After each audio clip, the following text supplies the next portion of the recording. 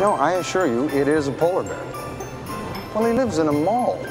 You keep eating those pizzas, we'll see how you look inside of a year. Got it. Last death ray gun in the store. Almost had to flatten this lady from Oak Park to get it. Oh, who's it for? I don't know, a death sergeant's kid. Uh, maybe I'll keep it for myself. It's pretty cool. Watch. That's really irritating, Rick. Well, you didn't get anything. Well, no, I tend to, well, I prefer to make my own presents. Oh, my, look at this. Look at this. This is nice. Gentleman has a good eye. Ah, How much for, uh, how much for this? It's a log. Yes, uh, would $5 be sufficient? Yeah, sure. All right, here you are. Merry Christmas. Merry Christmas. Fraser, it's a log. Marvelous log. I'm so Hey! Hey! What the hell do you think you're doing? You got water on my damn soup! Excuse me, sir.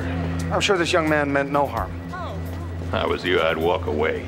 Well, happily, as soon as you apologize to this man. I don't apologize to anybody, ever. Well, perhaps now would be a good time to start. Yeah? You want an apology? No. Very well. You'll have to come with me. I'm performing a citizen's arrest. Get out of the way. Chicago PD, drop the gun. On the table, drop the gun. Am I going too fast for you? I got a permit. Shut up. On the table, get on the ground. All of you, on the ground. You got any idea who I am?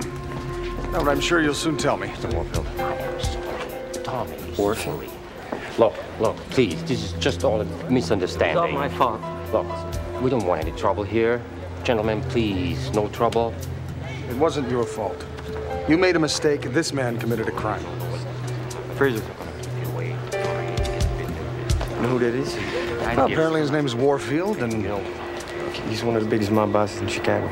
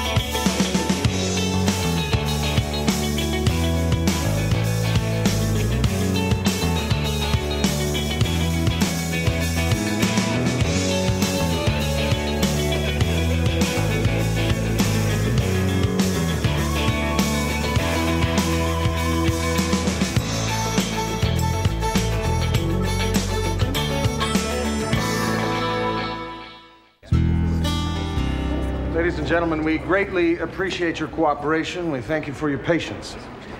Now, all of you were witness to a crime. And if you'll be so kind as to step forward one by one, we'll be very happy to take your statements.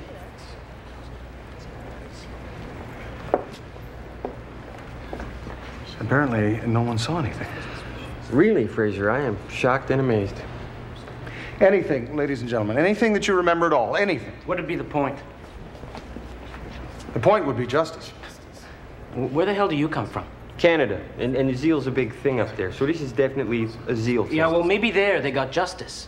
Here, we got brains. This victim was a fellow employee, a friend of yours. I can't believe that none of you are willing to make a statement.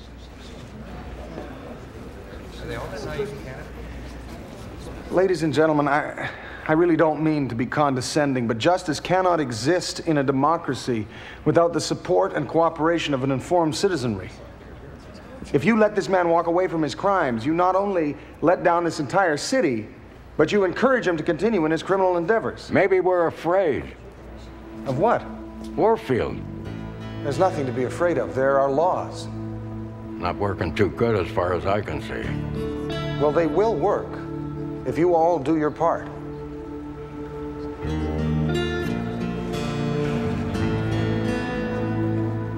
I thank you kindly for your time.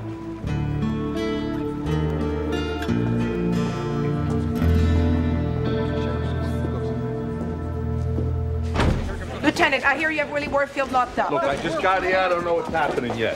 You think you finally have something to stick to Slick Willie? A couple of my best men brought him in. If they believe they have something, I gotta believe them. What are you charging him with? Slapping a busboy? Brought Warfield in here for slapping a busboy. Yes, sir. Is that a problem? It's a nothing beef, Constable. He's already walked on four murder, one and conspiracy charges. Think he's gonna go down for spitting on the sidewalk? Well, no, sir. I think he's going to go down, as you put it, for assault.